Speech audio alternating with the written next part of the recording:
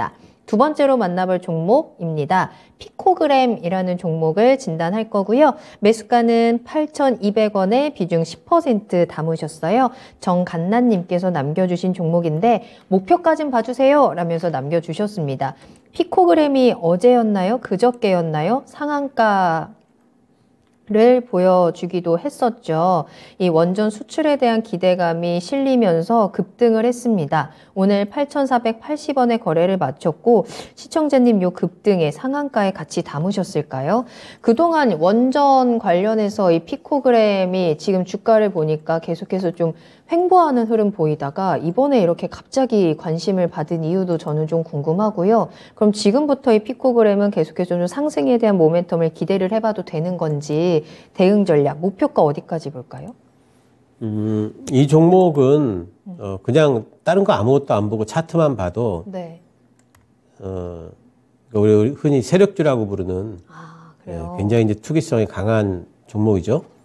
그러니까 이런 종목은 목표가를 일단 제 능력으로는 정할 수가 없어요. 음, 예, 목표가를 정할 수가 없고 어, 그냥 대응만 하셔야 되고 어, 그리고 굉장히 대응도 섬세하게 예, 굉장히 이제 잘 하셔야 되는 난이도가 있는 종목이죠. 올라갈 때는 막 상한가가 막 나오다가 또 갑자기 또 금, 내려올 때는 너무 빠르게 또 내려오니까 예, 그런 종목이랑 일단 알고 계시고 두 번째 이 종목의 내용이 지금 이제 정수기 쪽에 정수기 필터 만드는 회사거든요. 그러니까 지난번에 11월 달에 올라간 거는 아마존에 입점을 한다고 그래서 올라갔어요. 근데 이제 요즘엔 또 원자력 쪽으로 엮습니다. 그러니까 이 회사가 하는 필터 중에 원자로 냉각수에 이제 그 방사선 물질이 들어있잖아요. 특히 세슘 들어있는데 그 세슘을 필터로 걸러내는 거. 그런 필터가 있기 때문에 또 원자력 관련주로 또 엮었어요. 그러니까 제가 지금 엮었다는 말을 하고 있는데 음.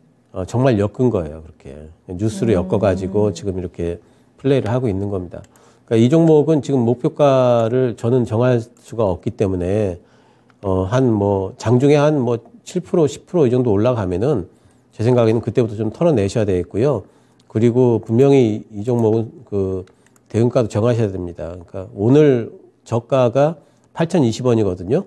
한 8,000원 정도가 지금 5일선이 있기 때문에 8,000원 손절가 잡으시고 그리고 뭐 한, 어, 뭐, 7% 이상 올라가면 조금씩 조금씩 팔아가지고 수익 실현 좀 하는 방향으로 하셔야 될 것 같습니다. 어, 자, 굉장히 섬세하고 그리고 어, 용기가 필요한 종목인 것 같아요. 대응하기가 조금은 까다롭습니다. 이게 모멘텀이나 어떤 규칙에 의해서 움직이는 종목은 아닌 것으로 보이고 있고요. 따라서 지금 상한가 이후에 주가가 그래도 잘 버텨주고 있는 구간인데 이 밑으로 또 급하게 떨어지지 않는지 그 지지라인 바닥권 한번 확인을 하시고 그리고 수익을 약수익에서 빠르게 또 수익 챙기고 빠져나오는 전략도 한번 꼭 참고를 해보시길 바라겠습니다. 피코그램에 대한 진단 도와드렸어요.